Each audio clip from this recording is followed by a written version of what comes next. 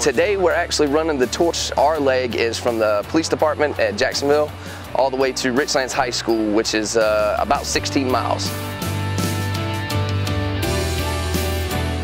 I think it's really important that we show our support to these Special Olympics. I mean, it's, it's, it's something that our community supports and it's something that makes our community better. So I think part of this process is how we support these young people in their goals in developing as athletes.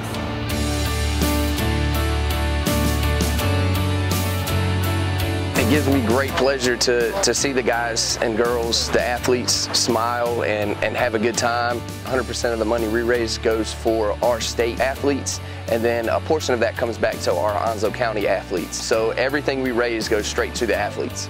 Police departments in general, one of, the, one of their goals should not be just to fight crime, it should be to improve the quality of life.